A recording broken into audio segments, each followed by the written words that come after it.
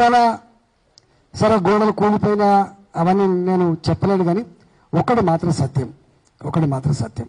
ఇవాళ చాలా దిక్కుల నేను అది ఇంచు తిరిగిన. అన్ని ప్రాజెక్టులలో అటువైపు ఇటువైపు కడుతున్నప్పుడు విడుతున్నప్పుడు అన్ని వైపులా ఉన్న మనిషిగా చెప్తున్నా. డెఫినెట్గా డెఫినెట్గా కడుతున్నప్పుడు పైసలు ఖర్చు పెడుతున్నప్పుడు నేను రావాలన్నప్పుడు ఉన్నటువంటి సోయి ఇట్లాంటి విషయాలను మాత్రం ఎక్కడ శ్రద్ధ తీసుకోలేదు.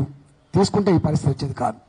నేను చూసిన ఇవాళ అక్కడికి వచ్చిన కరెంటు మీరు ఇప్పుడు సబ్స్టేషన్ చూడండి దాని పరిస్థితి వాళ్ళు స్టేట్మెంట్ ఇస్తారు వంద కోట్లు ఖర్చు అవుతుంది నూట ఇరవై కోట్లు ఖర్చు అవుతుంది. వట్టిగా ఒక మిగిలిపోయిన సబ్స్టేషన్ దగ్గరనే వాటికి మంచిగా చేస్తే వందల కోట్ల రూపాయలు అవుతుంది నాకు తెలిసి కొన్ని వేలాది కోట్ల రూపాయల నష్టం జరిగింది. వేలాది కోట్ల రూపాయల నష్టం జరిగింది. దీని మీద ఇప్పటికైనా ఇంజనీర్లుగా మీరు ఒక శాస్త్రబద్ధమైనటువంటి స్టడీ చేసి దీని నుంచి శాశ్వత నివారణ చర్యలు. అవి శాస్త్రం ఇక్కడ ప్రజల సొమ్ము కాబట్టి ఇక్కడ. ఎవరి సొమ్ము పోదు ఇక్కడ. తప్పిదం చేస్తే మానవ తప్పిదం అని అన్నారు. ఇవాళ బాగా దురదృష్టకరమైన అంశం ఏంటంటే ముఖ్యమంత్రి గారి దగ్గరనే ఈ శాఖ ఉన్నది ఇవాళ. ఒకప్పుడు నేను ఉమ్మడి రాష్ట్రంలో నాడు మేజర్ ఇరిగేషన్ మినిస్టర్ ఉండేది. మెయిన్ ఇరిగేషన్ మినిస్టర్ ఉండేది. మైన్ ఇరిగేషన్ మినిస్టర్ ఉండేది. మొత్తం కలిసి. ఇవాళ లైఫ్ లైన్ తెలంగాణ లైఫ్ లైనే నీళ్ళు అనుకుంటున్నాం. తెలంగాణ ఆర్థిక వ్యవస్థ ఆర్థిక మూలాలు వ్యవసాయంలో నేను భావిస్తా ఉన్నాం. అంత పెద్ద అంటే ఈ తెలంగాణ రాష్ట్రంలో ఆర్థికానికి మూలమైన ఈ తెలంగాణ రాష్ట్రంలో ప్రజల జీవికకు మూలమైనటువంటి ఇంత పెద్ద వ్యవస్థ. నీళ్ళే సర్వస్వం కాబట్టి నీళ్ళు లేకపోతే జరిగే ఆస్కారం కూడా లేదు కాబట్టి వ్యవసాయమైన ప్రాణపదాయం కాబట్టి ఆ శాఖకి ఇలా ఒక మంత్రి లేడు. అన్నిటికంటే బాగా అనిపించే అంశం ఏంటంటే వర్షాకాలం అని తెలిసి కూడా వర్షాకాలం అని తెలిసి కూడా నిష్ఠాతులైన ఇంజనీర్లు కావచ్చు ఇవాళ ఇరిగేషన్ సెక్రటరీ కావచ్చు ఫారెన్ టూర్లు పోయినట్టుగా పేపర్లో వచ్చింది. ఫారెన్ టూర్లు పోయినట్టుగా పేపర్లో. అంటే ఎప్పుడు కూడా ఏదైనా సీజన్ మొదలైందంటే రెండు నెలల ముందు మూడు నెలల ముందు మనం అన్ని చదువుకుంటాం ఈ గేట్లు వేస్తున్నా లేదా? ఆ గేట్ల కాడ ఉన్నటువంటి కరెంటు లైన్లు చక్కగా ఉన్నాయా లేవా ఆ గేట్ల కాడ ఉన్నటువంటి జనరేటర్ చక్కగా ఉందా లేదా? మనుషులు చక్కగా ఉన్నారా లేదా? ఇవన్నీ కూడా ఉండాలి. కానీ వాళ్ళకు ఎంత పట్టింపు ఉందో ఇవాళ ఇరిగేషన్ సెక్రటరీ కావచ్చు మంత్రి లేకపో ముఖ్యమంత్రి అయితే లేడు. ముఖ్యమంత్రి పట్టించుకునే ప్రశ్న లేదు కానీ ఆఫీసర్లు కూడా ఇరిగేషన్ సెక్రటరీలు కానీ ఇంజనీర్లు కూడా వాళ్ళు ఎక్కడో విదేశాలకు గివ్ సీజన్లో మోటార్లు పరిశీలించడానికి పోతున్నాం అంటే అది ఎంత కమిట్మెంట్ ఉన్నట్టు ఎంత సోయి ఉన్నట్టో దాన్ని బట్టి అర్థం కావాలని చెప్పి నేను మనవి చేస్తా ఉన్నా. నాలుగో నాలుగో అంశం ఏంటంటే ప్రజలకి నీళ్ళు కావాలన్నటువంటి తెలంగాణ ఉద్యమంలో నీళ్ళు నిధులు నియామకాలు. అంటే నీళ్ళ మీద తెలంగాణ బోర్లు వేసి బాయిలు తవ్వి గోసపడి తెలంగాణ కాబట్టి తెలంగాణ బతుకులన్నీ కూడా ఇలా ఆ కరువు కాటకాలతో తల్లిపోయిన బతుకులని చెప్పి మనం పాటలు పాడుకున్నాం కాబట్టి నీళ్ళు కావాలనే పేరిట నీళ్ళు కావాలనే పేరిట నీళ్ళు తప్పకుండా చెరువులలో కుంటలలో చే- మన వాగులలో వంకల పారిచ్చేపేట సంపద కూడా వేస్ట్ కాల్సక్కర్లేదు ఇవాళ నేను శ్యామ్ ప్రసాద్ రెడ్డి గారితో ఒక్కటి చిన్నది విభేదిస్తున్నా. వారు అన్నారు తమ్మిడి గట్టు దగ్గర కడితే అరవై ఐదు వేల కోట్ల ఇక్కడ కడితే లక్ష కోట్ల కట్టడం వల్ల కంటే కూడా దాని రికరింగ్ ఎక్స్పెండిచర్ మేనేజ్మెంట్ ఇంపార్టెంట్. ఇవాళ నాకు తెలిసి వారు అంగీకరిస్తారు వారు బాగా వారు బ్యాలెన్స్గా ఉండేటువంటి వ్యక్తి కాబట్టి అట్లా మాట్లాడతారు కానీ ఒక్కటి మాత్రం సత్యం. ఇవాళ నాకు తెలిసి ఇవాళ ఒక కేవీఏకి ఒక కిలోవాట్ కరెంట్కి మనం ఇన్స్టాల్ చేసుకుంటే ఇంతకుముందు పెరిగినప్పుడు నూట అరవై రూపాయలు ఉండే ఫిక్స్డ్ ఛార్జెస్ ఫర్ మంత్. ఇవాళ రెండు వందల డెబ్బై రూపాయలు అయింది. నాకు తెలిసి ఇది నాలుగు వేల ఏడు వందల మెగావాట్లో ఒక గోదావరి మీద చెప్తున్నాను నాలుగు వేల ఏడు వందల అరవై రెండు మెగావాట్లో లేకపోతే ఒక ఐదు వేల మెగావాట్లు ఉంటే ఐదు వేల మెగావాట్ల కరెంటు ఇన్స్టాల్ చేసుకున్న తర్వాత నువ్వు వాడతావా లేదా సంబంధం లేదు. కరెంట్ డిపార్ట్మెంట్ మాత్రం ఒక పదిహేను వందల కోట్లు పదహారు వందల కోట్లు సంవత్సరానికి ఫిక్స్డ్ ఛార్జ్ కట్టాలి అవి ఇవాళ మన కరెంటు బిల్లు చూసిన మొత్తం ఇప్పటి వరకు రెండు వేల ఇరవై నుంచి ఇరవై రెండు వరకు మొత్తం ఎత్తిపోసిన నీళ్ళు నూట ముప్పై తొమ్మిది మెగా టీఎంసీలు అని చెప్పి చెప్తారు. నూట ముప్పై తొమ్మిది టీఎంసీ నీళ్ళు ఎత్తిపోస్తే వచ్చిన కరెంటు బిల్లు మూడు వేల ఎనభై కోట్ల రూపాయలు. మూడు వేల ఎనభై కోట్ల రూపాయలు బట్ నేను చెప్పట్లేదు కరెంటు బిల్లు చెప్ చెప్తాను కాబట్టి. అంటే దాన్ని కనుక మనం డివైడ్ చేసుకుంటే ఇరవై ఏడు ఇరవై ఏడు వేల రూపాయలు. ఇరవై ఏడు వేల రూపాయలు ఒక ఎకరానికి మనం భరిస్తాం.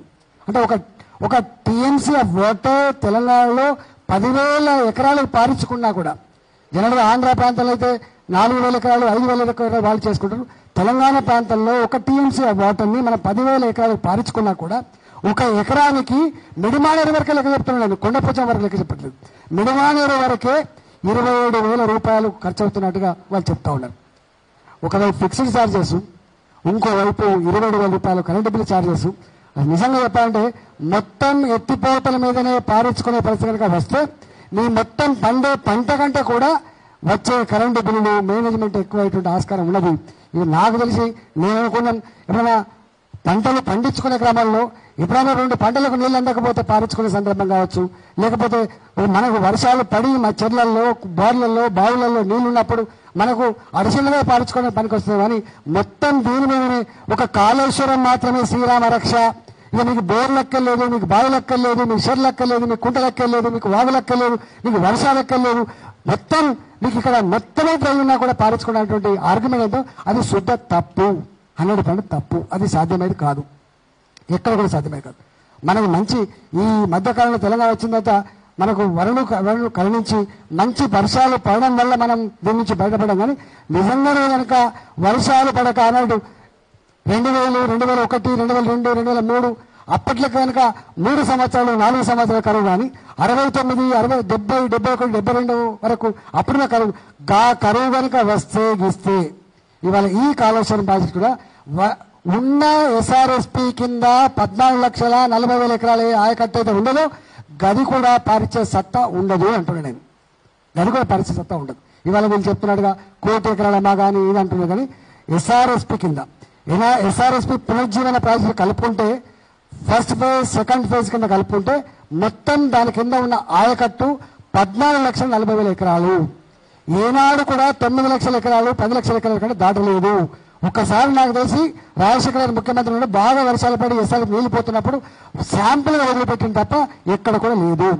మనం చూసినాం సూర్యాపేట కావచ్చు మహబాబు కావచ్చు నరసంపేట కావచ్చు అలాంటి పంట కాలంలో చెట్లు మలిసిన తప్ప నీళ్ళు ఎప్పుడు పారలేదు. ఇవాళ ఈ- కాలుష్యం కాళేశ్వరం వచ్చిన తర్వాత కాళేశ్వరం ప్రాజెక్ట్ వచ్చిన తర్వాత ఆ నాలుగు నాలుగు ఐదు లక్షల ఎకరాలు అయితే పారకుండా మిగిలిపోయిందో అది పారినమాట వాస్తవం ఇవాళ రెండవది వీళ్ళు ఎంత ఎంత అన్యాయం అంటే మనకు ఎల్లంపల్లి ప్రాజెక్టు.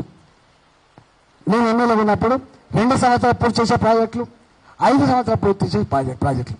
సరే ఆనాడు కూడా ప్రాజెక్టులు కొంత బిల్లు అవుతుంది కాబట్టి అనేక రకాల కారణాలు ఉంటాయి కాబట్టి దాని జోలికి పోను. ఎక్కడ కూడా రెండు సంవత్సరాలు కట్టాల్సిన ప్రాజెక్టులు పూర్తి కాలేదు. ఐదు నెలలు కూడా కట్టాల్సిన ప్రాజెక్టు పూర్తి కాలేదు. కానీ నిర్దేశించబడి ఆయకట్టు ఉంటుంది. ఎల్లంపల్లి ప్రాజెక్టు కింద ఎల్లంపల్లి ప్రాజెక్టు కింద రెండు లక్షల ఎకరాల భూమి రెండు లక్షల ఎకరాల పంటలు పండుతాయని చెప్పి నిర్దేశించారు. మిడిమానూరు కింద మిడిమానూరు కింద ఎత్తిపోతలు ఉన్నప్పటికి కూడా రెండు లక్షల ఎకరాలని చెప్పి ప్లాన్ చేసిండ్రు అంటే ఆ రెండు ప్లస్ రెండు నాలుగు లక్షల ఎకరాలు. ఇవాళ గతంలో ఉన్న ఎస్ఆర్ఎస్పి ఆయకట్టు స్థిరీకరించబడ్డ తర్వాత ఆ నాలుగు లక్షల ఎకరాలు కనుక తీసేసిన తర్వాత నిజంగానే ఇంకా ఇంకా ఒక పద్దెనిమిది లక్షల ఎకరాలు పారేటువంటి ఆస్కారం అయితే లేదు. పద్దెనిమిది లక్షల ఎకరాలు పాడే ఆస్కారం లేదు. వీళ్ళు చెప్తుందో మొత్తం లక్షల ఎకరాలు. ఇవాళ నాకు గమ్మతైన విషయం ఏంటంటే కొండపోచమ్మ సాగర్లో పోయిన తర్వాత లేదా మల్లన సాగర్ పోయిన తర్వాత మళ్ళీ మేము మంజిరా నదికి తరలించేసి అక్కడ ఉన్నటువంటి ప్రాజెక్టులు కూడా నింపుకుంటామనేటువంటి పద్ధతి ఉందో నాకు తెలిసి ఒక మిడిమానేరుకి వస్తున్న ఇరవై వేల వేల రూపాయలు ఖర్చు అయితే కొండపోచమ్మ సాగర్ కనుక పోవాలంటే మళ్ళీ ఇంకొక ఇరవై ఇరవై ఐదు వేలు ఖర్చు అయ్యే ఆస్కారం ఉంది. ఒక ఎకరం పంట ముప్పై వేల రూపాయలు వస్తుంది. ఒక ఎకరం కనుక కరెంటు మీద ఈ ఎత్తిపోతల మీద పా- పారిస్తే యాభై వేల రూపాయలు ఇచ్చే ఆస్కారం ఉంటుంది. అది అది రాష్ట్రం అది ఎవరు కడతారు? ప్రభుత్వం ఏదో ఆకర్షించి వచ్చే పైసలు. తెలంగాణ ప్రజానీకం రక్తాన్ని చెమటగా మార్చి ప్రతి రూపాయి కడితే ఆ డబ్బు ఇవాళ మనం దీనిపై ఖర్చు పెట్టిన ఆస్కారం ఉంటుంది. కాబట్టి కట్టడం లక్ష కోట్లు కావచ్చు కాక కానీ దాని రికరింగ్ ఎక్స్పెండిచర్ కానీ దాని కరెంటు బిల్లు కానీ ఇవన్నీ లెక్కలేస్తే నిజంగా కొన్ని బాధాకరమైనటువంటి సంఘటనలు ఉంటాయి. ఏది ఏమైనప్పటికీ కూడా ఇప్పటికైనా ముఖ్యమంత్రి గారు మొత్తం నేనే ఇంజనీర్ అనేటువంటి దాన్ని ఆ విరమీయకుండా నిష్ఠాతులు ప్రపంచంలో ఇట్లాంటి కడుతున్నప్పుడు ఉన్నటువంటి పరిస్థితులు కానీ ఈ దేశంలో అనేక ప్రాజెక్టు కట్టబడ్డాయి ఇప్పుడే కొత్తగా ప్రాజెక్టు నాగార్జున సార్ కట్టబడ్డది బ్రహ్మాండ ప్రాజెక్టు. శ్రీశైలం ప్రాజెక్టు కట్టబడింది దేశంలో బాకనగర్ ప్రాజెక్టు కట్టబడింది అనేక రాష్ట్రాలలో అనేక నదుల మీద పెద్ద పెద్ద ప్రాజెక్టు కట్టబడ్డాయి కాబట్టి ఇప్పుడే మనమేదో రీఇన్వెంటెడ్ చేసినట్టుగా మనమేదో కన్స్ట్రక్షన్ చేసినట్టుగా మనం మాత్రమే ఇంజనీర్లు అన్నట్టుగా మనకు మాత్రమే కమిట్మెంట్ ఉన్నట్టుగా చెప్పే పద్ధతి అవుతుందో అది శుద్ధ తప్పు. ఇప్పటికైనా మా శ్యామ్ ప్రసాద్ రెడ్డి లాంటి నిష్ణాతులు అంటే వాళ్ళు వాళ్ళు అటుపక్క ఇటుపక్క ఉండరు ధర్మం వైపు ఉండేటువంటి ఆస్కారం ఉండేటువంటి పద్ధతి ఉంటుంది కాబట్టి మా ఇంజనీర్లు అందరూ కూడా కోరుతున్నా దీని మీద సమగ్రమైన స్టడీ చేసి శాశ్వత నివారణకు నిజమే చెప్పినట్టుగా శాశ్వత నివారణ చర్యల కోసం తప్పకుండా మీరు ప్రయత్నం చేయమని చెప్పి కోరుతున్నా. ఈ ప్రభుత్వాలు శాశ్వతం కాదు. నాకు తెలిసి మనం యాభై ఏళ్ళ కోసం వంద ఏళ్ళ కోసం రాసరికం కాదు.